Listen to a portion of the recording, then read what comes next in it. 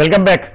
ప్రభాకర్ గారు స్పష్టంగా ఇప్పుడు శ్రీనివాసరెడ్డి గారు ఎక్కడెక్కడైతే తెలంగాణ ప్రాంతానికి అన్యాయం జరిగిందో ఎందుకు తెలంగాణ ప్రజలు ముఖ్యంగా ప్రత్యేక రాష్ట్రం కోరుకుంటున్నారో స్పష్టంగా చెప్పారు. అంటే జరుగుతున్న పరిణామాలు కూడా అనేక మంది మేధావులు కానీ ఇతరత్ర రాజకీయ నాయకులు కానీ మీరు వినే ఉంటారు. అంటే ముఖ్యంగా విద్య ఆరోగ్యం నీటి వనరులు. వీటి మీద దోపిడీ జరిగింది. అంటే ఆంధ్ర ప్రాంతానికి ఎక్కువగా నీటికి సంబంధించిన ఫైనాన్స్ అంటే ఫండ్స్ కూడా అటుపక్క డైవర్ట్ చేయబడ్డాయి అన్నవి కూడా ఒక రకంగా అంటే ఆరోపణ అనుకోవచ్చు లేదా నిజాలు అనుకోవచ్చు. అంటే మీకు రాష్ట్రం విడిపోవడం వల్ల నష్టం ఏంటి? రెండు రాష్ట్రాలు ఉంటే మరి లాభాలు చాలా ఉన్నాయని చెప్తాను నష్టం ఏంటి? కష్టం ఏంటి? మీరు కష్టం కూడా అంటే నష్టం ఏంటి? కష్టం ఏంటి అని కూడా చెప్తున్నారు. ఆయన ఆయన చాలా స్పష్టంగా దోపిడీ జరిగింది స్పష్టంగా నష్టం జరిగింది అని చెప్తున్నారు అంటున్నారే. ఆయన చెప్పిన దాంట్లో ఏ రకంగానూ ఎక్కడా కూడా వాస్తవం నేను ఆ లేదని పదాలు గణాంకాలతో చాలా. స్పష్టంగా నిరూపించాను. ఆయన ఉపయోగించారు. మన సాంబశివరావు గారు ఉపయోగించిందని చెప్తున్నానండి దాంట్లో ఇంతవరకు ఇప్పుడు యాభై ఆరులో జరిగినటువంటి పెద్ద మనుషుల ఒప్పందం ఉల్లంఘన అన్నారు. అక్కడి నుంచి ఇవాళ వరకు జరిగిన దేంట్లోనూ కూడా ఆయన ఒక్క విశ్వసనీయమైనటువంటి గణాంకాన్ని కూడా అందించలేకపోయారు. He is not able establish a case for division ఏమండి? తర్వాత యాభై ఆరులో అసలు మొత్తం నైజాం ప్రాంతం అంతా ఊరు వాడా కూడా విశాలాంధ్ర ఏర్పడాలని చాలా ప్రగాఢమైన కాంక్షతో ఉన్నారు ప్రతి పంచాయతీ దాదాపుగా తీర్మానాలు పాస్ చేసింది. హైదరాబాద్ నగర కాంగ్రెస్ తీర్మానం పాస్ చేసింది. గోరట్ల పంచాయతీ తీర్మానం పాస్ చేసింది. ముల్కనూరు పంచాయతీ తీర్మానం పాస్ చేసింది. వరంగల్ మున్సిపాలిటీ తీర్మానం పాస్ చేసింది. మన దగ్గర ఆవేళ ఉన్నటువంటి పత్రికల్లో ఫ్యాక్స్ మిలి మన శ్రీనివాస్ రెడ్డి గారి పత్రికలు అంటే గౌరవం కాబట్టి చూపిస్తారు. ఇది దీస్ ఆర్ ఆల్ ఫ్యాక్స్ మిలి ఆవేళ ఊరు వాడ తర్వాత అంత పెద్దవారు నేను అనుకోని శ్రీనివాసరెడ్డి గారికి కూడా చాలా ఆరాధ్యులైనటువంటి రావి నారాయణ రెడ్డి గారు వారు రాసినటువంటి వీర తెలంగాణ పుస్తకం. ఈ పుస్తకం ఎవరికంటే ఇచ్చారో తెలుసా అండి వారు? నిజాం నిరంకుశ పాలన నుంచి భూస్వాముల అమానుష పీడన నుంచి విముక్తి కోసం భూమి కోసం భుక్తి కోసం తెలుగు జాతి సమైక్యత కోసం గుండె నెత్తులు తర్పణ చేసిన నాలుగు వేల తెలంగాణ వీరులకు. ఇందులో రెండు అధ్యాయాలు ఆ రెండు అధ్యాయాలు శీర్షిక చదువుతా అంటే మీకు. ఒక అధ్యాయం పన్నెండో అధ్యాయం. దాని శీర్షిక వీర తెలంగాణ నాది వేరు తెలంగాణ కాదు. పదమూడవ అధ్యాయం. చీలికవాదం తెలంగాణ ప్రయోజనాలకే హానికరం. ఈ రెండు. నేను చాలా పుటలు ఉన్నాయి అవన్నీ అక్కర్లేదు. నేను శీర్షిక చెప్తున్నాను. చేత పంతొమ్మిది వందల మూడు నాలుగు సంవత్సరాల నుంచి చాలా ప్రగాఢంగా అన్ని ప్రాంతాలలోనూ విడివిడిగా ఉన్నటువంటి అన్ని అనేక పరిపాలనల కింద ఉన్నటువంటి విడివిడిగా ఉన్నటువంటి తెలుగు ప్రజలందరూ కూడా కలిసి ఉండాలన్నటువంటిది ఒక చాలా చాలా గాఢమైనటువంటి ఆకాంక్ష. ఆ గాఢమైనటువంటి ఆకాంక్ష ఆంధ్ర మహాసభ ఆంధ్ర జనసంఘం విశాలాంధ్ర మహాసభ. చాలా పెద్ద ఎత్తున ఉద్యమాలు జరిగాయి. ఇందులో కాదన్న వాళ్ళు ఉంటారు ఎప్పుడు ఉంటారు ఇవాళ ఉంటారు రేపు ఉంటారు. అసలు భారతదేశానికి స్వాతంత్రమే రాలేదు ఇవాళ కూడా చెప్పేవాళ్ళు అటువంటి వారు చాలామంది ఉన్నారు. వారు కాదు. మెయిన్ థింగ్ రెండు రెండు సార్లు ఆందోళన జరిగిందండి ఈ రాష్ట్రం అరవై తొమ్మిదిలో జరిగింది డెబ్బై రెండులో జరిగింది. ఇప్పుడు జరుగుతోంది. అరవై తొమ్మిదిలో జరిగినటువంటి ఈ సంఘర్షణలో విశాలాంధ్రవాదం నెగ్గింది. ఇవాళ డెబ్బై రెండులో జరిగినటువంటి జయాంధ్ర ఉద్యమంలో విశాలాంధ్రవాదం నెగ్గింది. ఆ తర్వాత ఈ మరి ఇప్పుడు ఇప్పుడు ఉన్నదానికి కొంచెం ముందుకు వెళ్దాం అంటే కొంచెం వెనక్కి వెళ్దాం. ఇందిరారెడ్డి గారు తెల- జై తెలంగాణ తిరిగారు. లేకపోతే మాత్రం నేను కెంచుకోలేదు దేవేంద్ర గౌడ్ గారు పార్టీ పెట్టి తిరిగారు ఏమీ రాలేదు. రెండు వేల నాలుగులో మొట్టమొదటిసారి తెలంగాణ కోసం పుట్టినటువంటి పార్టీ పోటీ చేసింది ఎన్ని పోటీ చేసింది? యాభై నాలుగు పోటీ చేసింది ఇరవై ఆరు నెగ్గారు. రెండు వేల ఎనిమిదిలో జరిగినటువంటి ఉప ఎన్నికల్లో పదహారు వారు రాజీనామాలు చేస్తే ఏమైనా సరే తెలంగాణ కోసం రాజీనామా చేస్తున్నాము అని అంటే వారు చర్చి చెడి ఏడు నెగ్గారు. మొన్న రెండు వేల తొమ్మిదిలో జరిగినటువంటి ఎన్నికల్లో పది నెగ్గారు ఒకటి ఒక పార్ల రెండు పార్లమెంట్ సీట్లు నెగ్గారు ఒక పార్లమెంట్ సీటు సాగు తప్పి కన్నులెట్టపోయి నెగ్గారు. వాళ్ళకి సంబంధించినటువంటి వారు సిరిసిల్లో నూట యాభై ఓట్లతో గట్టెక్కారు. ఇది ఎన్నికల్లో చూసుకున్నా జనంలో చూసుకున్నా మొట్టమొదటి నుంచి ఉన్నటువంటి ప్రగాఢమైనటువంటి వాంఛ చూసుకున్నా ఏ రకంగా చూసుకున్నా కూడా ఇవాళ లక్షలాది మంది కోట్లాది మంది ఈ రాష్ట్రంలో ఉన్నటువంటి అన్ని ప్రాంతాల్లో ఉన్నటువంటి వారు కూడా విశాలాంధ్ర కోరుకుంటున్నారు. ప్రభాకర్ గారు ఒక్క నిమిషం. చెప్తున్నానండి. ఒక్క నిమిషం ప్రభాకర్ గారు. అంటే ప్ర- ప్రభాకర్ గారు స్పష్టంగా రెండు వేల తొమ్మిది వరకు వచ్చి ఆగిపోయారు. ఆ తర్వాత అంటే రెండు వేల తొమ్మిదిలో సిరిసిల్ల నూట యాభై ఒకటి ఓట్లు కానివ్వండి తర్వాత విజయశాంతి గారి గురించి అనుకుంటా ఆయన మాట్లాడింది. అతి తక్కువ మీద ప్రభాకర్ గారు సాంబశ్రావు గారు ప్రభాకర్ గారు గుర్తించాల్సింది ఏమిటంటే అసలు పెద్ద మనుషుల ఒప్పందమే లేదు దానికి శాంటిటీ లేదు అనే వాదన చేసే వాళ్ళు ఇంతకన్నా ఏం మాట్లాడగలుగుతారు చెప్పండి ఈ రాష్ట్ర ఐక్యత గురించి కాపాడటానికి?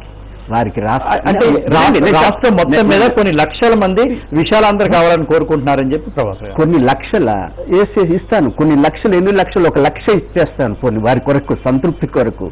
ఈ రాష్ట్రంలో వారి చెప్పిన గణాంకాలు ఉన్నాయే. ఎవరైనా ప్రభాకర్గా గారు చెప్పాలి ఓపెన్గా. సమైక్యత పేరుతో ఈ రాష్ట్ర ఈ తెలంగాణ ప్రాంతంలో పోటీ చేసి నేను సమైక్యతావాదిని ప్రత్యేకవాదులకు ఓటేయబాకండి అని చెప్పి చేస్తే హాయిగా. అరవై తొమ్మిదిలో ప్రజాసమితి సిద్దిపేట ఎలక్షన్ జరిగింది ఖైరతాబాద్ ఎలక్షన్ జరిగింది బై ఎలక్షన్స్ వచ్చాయి. కమ్యూనిస్ట్ పార్టీ తరఫున గురువారెడ్డి గారు సమైక్యతావాదిగా నిలబడ్డాడు. మదన్మోహన్ గారు ప్రత్యేకవాదిగా నిలబడ్డారు. అట్లుగా ఈ ఎన్నికల్లో వారి చేసే వాదన సబబుగా ఉందని చెప్పుకోవటానికి పలానాయన సమైక్యతావాదిగా నిలబడ్డాడు. ఓట్లు చూడండి ఎన్ని వచ్చినాయో. మా మేము గెలిచాము అని చెప్పితే నేను వినటానికి వినసొంపుగా ఉంటుంది తప్ప ఈ వాదనలు ఇది ఏమంటారంటే నేను నా దానికే కట్టుబడి ఉన్నాను. ఏమైనా జరిగినాయి అదొక వాదన అదొక సిద్ధాంతము. ఆ రీతిలో ఉంటే ఈ ఆ సమాధానాలు ఎక్కడి నుంచి వస్తాయి? ఏ రకంగా వస్తాయి? రెండవది చేసిన బేసిక్ నా అబ్జెక్షన్ ఏమిటంటే వారు దేనికి కట్టుబడి ఉండటానికి సిద్ధంగా లేరు. పెద్ద మనుషుల ఒప్పందం లేదు అని చెప్పి ఉద్యోగాలలో నష్టాలు ఎట్లా జరిగినాయని. పెద్ద మనుషుల ఒప్పందం వాయులేషన్ జరిగింది. సిక్స్టీ నైన్ అఖిల పక్షంలో రెండు కమిటీలు వేశారు. ఆ వాయులేషన్స్ మీద ఫలానా జీవోలు వచ్చినాయి. హైకోర్టులు స్ట్రక్ అయ్యి లలిత్ కమిటీ వచ్చింది. నమ్మలేదు. ముప్పై నాలుగు కోట్లే అంటే తెలంగాణ ప్రాంత ప్రజలు తెలంగాణ రీజనల్ కమిటీ నమ్మలేదు. తప్పులు లెక్కలు అని చెప్పింది. తర్వాత భార్గవ కమిటీ వేశారు. అది ఎక్కడికి పోయిందో ఎవరికి తెలియదు. ఆ తర్వాత సిక్స్టీన్ ఇవన్నీ జరుగుతున్న వాస్తవాలు కాదు అంటే కబోద్దిగా ఉంటే నేను ఎట్లా చెప్పగలుగుతాను చెప్పండి? అంటే అంటే ఏ రకంగా? వారు చెప్పిన వాదనకు ఎక్కడ నిలబడతారు చెప్పండి? ఇవాళ ఈ ఆంధ్రప్రదేశ్ తెలంగాణ ప్రాంతంలో తెలంగాణ ఇష్యూ మీద జరిగిన ఉప ఎన్నికలలో ఏ ఒక్కరైనా కనీసము వారు చెప్పే ఫలానాయన సమైక్యతావాది ఆయనకి ఇన్ని ఓట్లు వచ్చినాయని చెప్తే నేను సంతోషపడతాను. ఆ వారి వాదనకు గౌరవం ఇవ్వడానికి అవకాశం ఉంటుంది. ఎన్ని ఉప ఎన్నికలు జరిగినా పోటీ చేసిన వాళ్ళు ప్రభాకర్ గారు చెప్పింది రెండు వేల ఎనిమిది ఉప ఎన్నికలు అంటే- పదహారు టీఆర్ఎస్ రాజీనామా. నేను అడిగేది అడిగేది ఏంటంటే ఈ పదహారు ఉప ఎన్నికల్లో నేను చెప్పండి వారిని. ఈ పదహారు ఉప ఉప ఎన్నికల్లో నేను సమైక్యతావాదిని అని చేసిన వాళ్ళు ఎవరు చెప్పమని చెప్పండి. నేను అప్పుడు సమాధానం చెప్తాను వారికి. సాంశీరావు గారు సాంశీరావు గారు రెండు వేల ఎనిమిది ఉప ఎన్నికల్లో పదహారు కేవలం తెలంగాణ కోసం రాజీనామా చేసినటువంటివి కదా. అందులో ఆరు ఏడు మాత్రమే ఎందుకు గెలుచుకున్నారు చెప్పండి? నాకు. నేను అడిగేది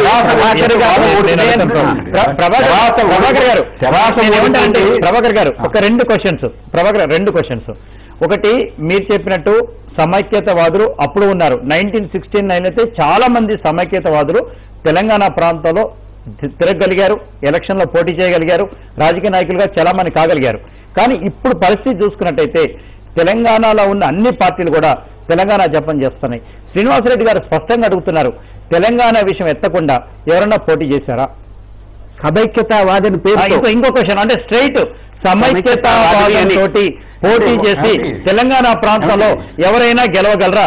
ఒకవేళ గనక అలా గెలిచి ఉన్నట్లయితే ఇక్కడ కూడా. సమైక్యతావాదం ఉన్నట్టని స్పష్టంగా చెప్తున్నారు. వారు చెప్పిన వాదనలు వినటానికైనా నేను సమాధానం చెప్పనిస్తారా please. సమాధానం చెప్పనిస్తారా?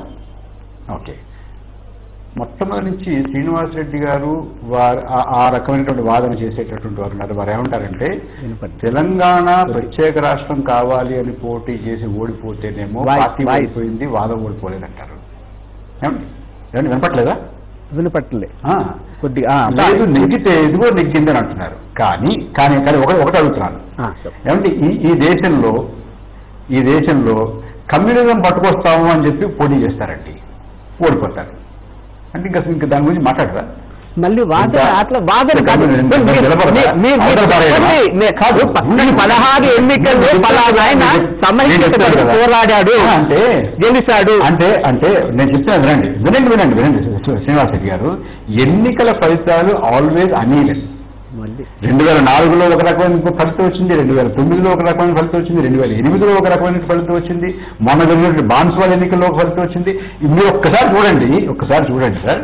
మీరు వాదనకు నిలబడి మొన్న జరిగినటువంటి మొన్న జరిగి లేదు మాట నిలబడి ఇప్పుడు నేను అడిగేది మిమ్మల్ని జరిగితే మీరు పెట్టండి మీ మీ విశాలాంధ్ర తరఫున విశాలాంధ్ర విశాలాంధ్ర జై విశాలాంధ్ర తరఫున మా క్యాండిడేట్ మీరు పెట్టండి ఒక క్యాండిడేట్ని. మేము రాజకీయ పార్టీలం కాదు. మేము కాదు మరి ఎట్లాగా? ప్రజాస్వామ్యంలో పార్లమెంట్ ప్రజాస్వామ్యంలో ఎన్నికలు క్రైటీరియా కాదు ప్రజాప్రతినిధులు క్రైటీరియా కాదు ప్రజలు క్రైటీరియా కాదు. అంటున్నారు కాదండి. ఎందుకంటే రెండు వేల నాలుగులో రెండు వేల నాలుగులో మీరు ఏమంటే రెండు వేల నాలుగులో మీరు స్థానాలు సంపాదించుకోలేకపోయారు. అప్పుడు మరి వదిలేలేదే రెండు వేల ఎనిమిదిలో సాధించుకోలేకపోయారు వదిలేలేదే రెండు వేల తొమ్మిదిలో సాధించుకోలేకపోయారు వదిలేలేదే ఎందుకు వదిలేదు మీరు నేను అడిగేది జరిగిన తెలంగాణ ప్రాంతంలో ఈ తెలంగాణ ఉద్యమం సందర్భంగా ప్రత్యేక రాష్ట్ర డిమాండ్ సందర్భంగా వచ్చినటువంటి రాజీనామాల పర్వంలో ఒక్కరిని చెప్పండి. మా సమైక్యతావాదం గెలిచింది ఈ ప్రాంతంలో. అని చెప్తే మీ వాదన ఏం చెప్పినా వినడానికి సిద్ధంగా ఉన్నాను. వాదన తీసుకొస్తారు మీరు ఎందుకు ఓడిపోయారు మీకెందుకు తక్కువ ఓట్లు వచ్చినాయి? ఎవరికి తక్కువ ఓట్లు వచ్చింది? నా వాదానికి తక్కువ ఓట్లు రాలా? మీ దృష్టిలో టీఆర్ఎస్ మీ దృష్టిలో ఇంకొక వ్యక్తి ఉంటే నేనేం చేయగలుగుతాను దానికి? ప్రజలు ప్రజలు నా వాదానికి ప్రత్యేక రాష్ట్ర వాదానికి ప్రాంత. ప్రజలు నూటికి మీరు చెప్పారు. లక్ష మంది ఉన్నారు అంటున్నారు కదా ఒక పర్సెంట్. తొంభై తొమ్మిది శాతం లక్ష మంది కాదు ఉన్నారు కోటా లక్షలాది మంది ఉన్నారు కోటాను కోట్ల మంది ఉన్నారు. మీ- వాదనకు ఎక్కడ బలం లేదు ప్రభాకర్ గారు. ఆ వాదనకు బలం ఉంది. ఎందుకంటే ప్రజలు పదే పదే పదే మీ- వాదన ఎన్నికలే రెడ్డి గారు. మీ వాదం వెనకాల గణాంకాలు లేవు. నేను ఏం చెప్పింది?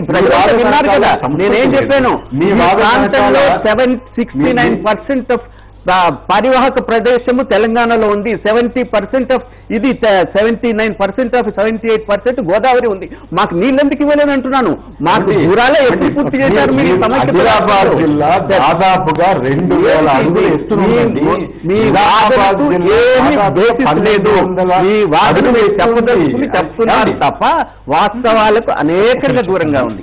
మీరు ఏమండి? మీరు ఇవాళ తెలంగాణ ప్రత్యేక రాష్ట్రాన్ని డిమాండ్ చేస్తేనే మనకి ఏదో ఒక ఒక ఫ్యాషన్ కింద తయారైంది మీకు.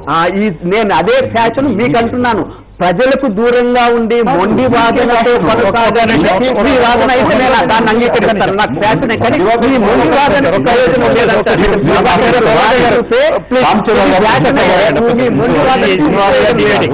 ప్రభాకర్ గారు, ఒక్క సెకండ్. ఒక ఒక్క సెకండ్ ప్రభాకర్ గారు.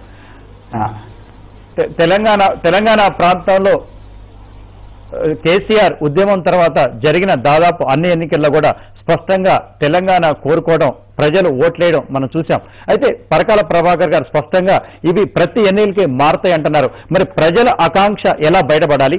తెలంగాణ రావాలంటే ఇంకేం చేయాలి అన్న విషయాన్ని కొనసాగించే ముందు రెడ్డి గారు అంటే పరకాల ప్రభాకర్ గారు స్పష్టంగా చెప్తున్నారు. అంటే ఎటువంటి ఉల్లంఘనలో జరగలేదు. పైపెచ్చు దాదాపు ఇరిగే ఇరిగేషన్ కూడా ఎయిటీన్ ల్యాక్ ఏకర్స్ అయిందన్నారు. అంటే ఎక్కడా జరగదన్నారు ప్రజల్లో కూడా అందరం కలిసి ఉండాలనే భావన ఎక్కువగా ఉందని కూడా చెప్తున్నారు. ఇప్పటి నుంచి కాదు నైన్టీన్ ఫిఫ్టీ సిక్స్ నుంచి ఇప్పటి వరకు. ప్రత్యేక తెలంగాణ వల్ల ఈ ప్రాంతానికి వనగొరే ప్రయోజనాలు ఏంటి? లేదా కలిసి ఉండటం వల్ల నష్టం ఏంటి? ఫైనల్గా చెప్పండి. ఒకటి వారు చెప్పిన అంకెలన్నీ అందరూ వాదించుకుని చెప్పినాయి. ఇంకా దాంట్లో వారి కొత్తదనం ఏమీ లేదు. నేను చెప్పాను ఇప్పుడు ఎంత పరివాహక ప్రదేశం ఉంది ఎంత ఎంత పర్సంటేజ్ సాగుంది ఇక్కడెంత అక్కడెంత ఆ వివరాలు అన్నీ చెప్పాము రెండు ఒక అబద్ధపు అవాస్తవపు భయాందోళనలు ఆ ప్రాంతంలో కొంతమంది స్వార్థపరులు. ఇది ప్రజలతో సంబంధం లేదు. స్వార్థపరులు ఎందుకు వాడుతున్నానంటే ఈ రాష్ట్రం సమైక్యంగా ఉంటే ఏం లాభమో? కొంత స్వార్థపరులకు తెలిసింది.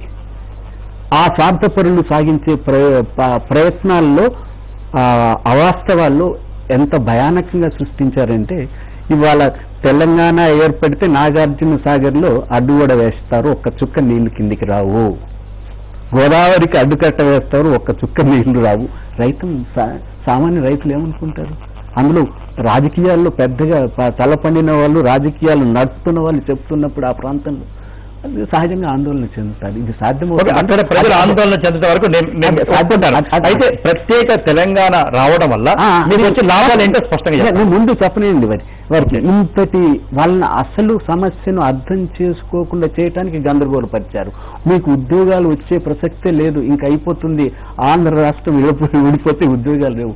ఇప్పుడు చెప్పారే పదిహేను పర్సెంట్ లోకల్స్కి నాన్ లోకల్స్కి. వచ్చేటటువంటి యూనివర్సిటీస్ సంబంధించి గవర్నమెంట్ ఉద్యోగాలు కూడా లేవు. ప్రైవేట్ సెక్టర్ ఎవరైనా ఎక్కడైనా తెలివి ఉంటే ఎవడైనా కాంపిటీషన్లో తీసుకోవటానికి. అందుకని ఇలాంటి అవాస్తవ వాస్తవాలు గుర్తించకుండా ఉన్నారు. ఇంతటి పెద్ద ప్రజా ఉద్యమం జరిగి ఇన్ని తీర్పులు ప్రజాస్వామ్యబద్ధంగా వచ్చిన దాన్ని కళ్ళు మూసుకొని చెవులు మూసుకొని చేస్తున్నట్టు పద్ధతిలో ఉంది. అందువల్ల ఇవాళ పరిస్థితి ఏంటంటే ఇంకా ఈ గణాంకాలు స్టేజ్ అయిపోయింది. Sixty nine seventy seventy five వరకు ఎయిటీ వరకు అన్నిటినీ చూశారు. ఇంకా ఈ గణాంకాల విలువ లేదు. వృద్ధి కాదు అభివృద్ధి కాదు. అసలు మనుషులు కలవ ఇంకా. ఓకే. మనసులు మనసులను విడగొట్టే రకంగా ఇది ప్రజల మధ్య ఒక పెద్ద వైరుధ్యంగా సృష్టించడానికి స్వార్థపర వర్గాలు పాలక వర్గం ప్రభుత్వాలు ప్రయత్నిస్తున్నాయి. అలాంటి వాటిల్లో ప్రభాకర్ గారు పడకూడదనేది నా కోరిక. వారు ఎవరు చేసింది? ప్రభాకర్ గారు చేశారా? వారి తండ్రి గారు చేశారా? వారి తండ్రి గారు కూడా చెప్పరు వారి తండ్రి గారు మంత్రిగా ఉన్నప్పుడు నేను కవర్ చేశాను జర్నలిస్ట్గా. సో అందుకని వీరు కాదు పాలక పార్టీలు. అది. తెలుగుదేశం కానీ ఇటు కాంగ్రెస్ కానీ. ఏ ప్రభుత్వాలైనా ఈ రాష్ట్రం సమైక్యంగా ఉంచాలన్న భావన ఉంటే తెలుగు ప్రజలను ఐక్యంగా ఉంచాలన్న భావనే కనుక ఉంటే పరిస్థితి ఇంత దూరం వచ్చేది కాదు. అది. అది గుర్తించకుండా నేను దేన్ని అంగీకరించను ప్రభాకర్ లాంటి వాళ్ళు చెప్పటమే నాకు అంతకన్నా లేదు. ప్రభాకర్ గారు స్పష్టంగా తెలంగాణ రాష్ట్రం ఏర్పాటు వల్ల నష్టమేమిటి? సమైక్యంగా ఉండటం వల్ల లాభాలేంటి? క్లుప్తంగా చెప్పండి. ఏమంటే సమైక్యంగా ఉండాలి అన్న వాళ్ళంతా స్వార్థపరులు అంటున్నారు ఆయన. విడిపోవాలన్న వాళ్ళంతా కూడా స్వార్థపరులు అని నేనంటే అది కాదు కదా అనండి అనండి పర్వాలేదు ఎందుకంటే మీకు అన్నారు కదా ఇప్పుడు వాస్తవాలు లేవు అవాస్తవాలు అలాంటి వాళ్ళు కూడా ఇట్లా లేదు. పాలకుల మీద ఒక్క మాట. మాట్లాడతలేరే. అన్ని సక్రమంగా యాభై ఆరు. తర్వాత సమృద్ధిగా అంతా పరిపాలన సక్రమంగా సాగుతున్న Yes, మరి రీతిలో conclude చేయండి. మీరు ఒక్క మాటైనా చెప్పగలిగితే ఒక్క మాటైనా అంటే ప్రభాకర్ గారు నిజంగా అని ఆలోచించేవాడిని. మీరు ఇది ఏమి లేదు అసలు ఏమిటిది అన్నట్టు మాట్లాడితే మీకు? ఏమండి మాట్లాడచ్చా? ఎస్ ప్లీజ్ మాట్లాడచ్చు? ఓకే నేను రాష్ట్రం ఒకటిగా ఉండాలని కోరుకుంటున్నాను. స్వార్థపరుడు కాబట్టి కోరుకుంటున్నాను అంటున్నాడు ఆయన. నేను మిమ్మల్ని అనలే. ఏమండి నేను మీలాంటి వాళ్ళు పడిపోతున్నారు. ఏమండి? అంటే లేదు. అంత ట్రాప్లో పడేటట్టు మనిషిని కాదనుకోండి. ఎందుకో నాకు పొరపాటు ఉంది. ఆ పొరపాటు అంచనా కావచ్చు మీరు రుజువు చేయాలి దాన్ని. లేదు కాదు కాదు. మీ అసలు మీ అంటే మీరు నేను చెప్పేటటువంటి వాదన సహించలేకపోతున్నారు. ఎందుకు కాదు. మీ వాదన మీరు మీ వెనకాల please stop him. Please. Yeah. ఏమంటే ఆగారు కదా? ఆయన విభజన కోరుకుంటున్నాడు కాబట్టి ఆయన స్వార్థపరుడు అని నేను అన్నండి. నిజంగా చాలా నిబద్ధతతోటి విభజన జరిగితే మంచిది అని అనుకోవడం కూడా తప్పేం కాదు అనుకుంటాడు ఆయన. ఐఎమ్ ఫైన్ కానీ అలా అనుకునేటటువంటి వాళ్ళు పొరపాటుగా అనుకుంటున్నారు అని చెప్తున్నాను నేను. విశాలాంధ్ర కావాలి అని కోరుకుంటున్నటువంటి వారు బాగా విషయాన్ని పరిశీలించి యాభై ఆరు నుంచి ఇవాళ వరకు ఏం జరిగింది అనేటటువంటిది చూసి మొత్తం మీద విద్యలో కానీ నీటిపారుదలలో కానీ విద్యలో కానీ ఆరోగ్యంలో కానీ అభివృద్ధిలో కానీ ఎక్కడా కూడా విచక్షణ జరగలేదు వివక్షత లేదు అనేటువంటి మాట. ఎక్కడైనా ఇంత జరగాల్సినటువంటి అభివృద్ధి ఇంతే జరిగింది అని అంటే అది ప్రకాశం జిల్లాలో జరగచ్చు నల్గొండలో జరగచ్చు చిత్తూరులో జరగచ్చు కడపలో జరగచ్చు ఆదిలాబాద్లో జరగచ్చు. ఇది ఇంకా ఇవన్నీ మామూలే. వెనకబాటుతనం అనేటువంటిది. ఎగ్జాంపుల్ మీరు నల్గొండలో ఫ్లోరోసిస్ ఫ్లోరోసిస్ అంటున్నారే? అయ్యే నల్గొండలో ఎంత ఫ్లోరోసిస్ ఉందో అంతే తీవ్రతతోటి ప్రకాశం జిల్లాలో ఉంది. అసలు ప్రకాశం జిల్లాలోనే మొట్టమొదటి పంతొమ్మిది వందల ప్రభాకర్ గారు, ప్రభాకర్ గారు. ఇది ఏదో జరిగిపోయి. మనకు ఆల్రెడీ మనకు ఆల్రెడీ అంటే seven to eight eight thirty eight thirty వరకు మనం చేసుకున్నాం. ఎయిట్ థర్టీ వరకు మనం ఎక్స్టెండ్ చేసుకున్నాం ప్రభాకర్ గారు. అంటే కన్క్లూజన్ దయచేసి ఏంటంటే ఈ డిబేట్ కంటిన్యూ చేయాలంటే ఎందుకు చెప్తున్నారు నాతో కంక్లూడ్ చేయమని? నో నో నో ప్లీజ్ అలా కాదండి. అది అది కరెక్ట్ కాదు. ఎందుకంటే ఆయన నన్ను స్వార్థపరులు అంటున్నారు లేకపోతే వాళ్ళు ఉచ్చులో పడిపోతున్నాను అంటున్నారు. తప్పది. ఆయ- ఆయన ఆయన ఆయన అభిప్రాయం పట్ల నాకు గౌరవం ఉంది. ఆ అభిప్రాయంతో ఏకీభవించట్లేదు అంతే. అది తప్పని చెప్తున్నాను. అది తప్పని అంటున్నాను. అది ఎక్కడా కూడా దానికి ప్రజామూలం లేదు అని అంటున్నారు. ఎన్నికలు ఏమండి రెండు వేల నాలుగు నుంచి ఇవాళ వరకు జరిగినటువంటి ఎన్నికల్లో మెజారిటీ ఎన్నికల్లో ఇది తిరస్కరించబడింది. ఓకే ఓకే మనకి. ప్రభాకర్ గారు. ఓకే ఉండండి ఉండండి ఏమండి ఏమండి ఇంకో ఇంకొకటి. తెలుగు ప్రజలందరూ కలిసి ఉండాలని అన్ని ప్రాంతాల్లోనూ ఉన్నటువంటి మెజారిటీ ప్రజలు కోరుకుంటున్నారు. ఓకే. వీరు చెప్పేటటువంటి ఆర్థిక పరమైన వివక్ష సాంస్కృతిక పరమైనటువంటి వైరుధ్యము లేకపోతే ఇక్కడ రాజకీయంగా జరిగినటువంటి అన్యాయము మరొకటో మరొకటో ఎక్కడా కూడా నిరూపించబడలేదు. అవన్నీ కూడా ఒక అపోహలు ఒక అభూత కల్పనలు ఒక ప్రచారం జరుగుతూ వస్తోంది. దీన్ని కాదు అని అన్ని మేము వెళ్ళి చెబుదామనంటే మా నోరు. ప్రభాకర్ గారు తప్పకుండా. శ్రీనివాస్ రెడ్డి గారు మీకు వేదిక ఇస్తున్నారు. కేవలం వస్తే ప్రసంగాలు చేయొద్దని మాత్రమే చెప్పారు. అయితే ఆ, సమయభావం ఇంతకన్నా ఎక్కువ పొడిగించి ఆయన- వేదిక ఇస్తారంటే మీరు ఏం మాట్లాడాలో ఆయన రాసిమనండి okay okay. Thank you sir thank you sir Prabhakar గారు. శ్రీనివాస్ రెడ్డి గారు. నిద్రపోయేవాడిని తప్ప sir. ఇది ఈ రోజు టాప్ స్టోరీ. ప్రభాకర్ గారు తెలుగు ప్రజలందరూ ఎన్ని కొన్ని లక్షల మంది ఇంకా కలిసి ఉండాలని కోరుకుంటారని ఆర్థిక రాజకీయ విషయాల్లో ఎక్కడ వివక్షత లేదని చెప్తున్నారు. అయితే శ్రీనివాసరెడ్డి గారు స్పష్టంగా విద్య ఆరోగ్య రాజకీయ విషయాల్లో అనేక వివక్షత కూడుకుందని చెప్పారు. తప్పకుండా తెలంగాణ ప్రజలు తెలంగాణ కోరుకుంటున్నారని రెండు రాష్ట్రాలుగా విడిపోవడం వల్ల నష్టమేమి ఉండదని చెప్తున్నారు. చూస్తూ ఉండండి టీవీ ఫైవ్. ఇది ఇవాళ టాప్ స్టోరీ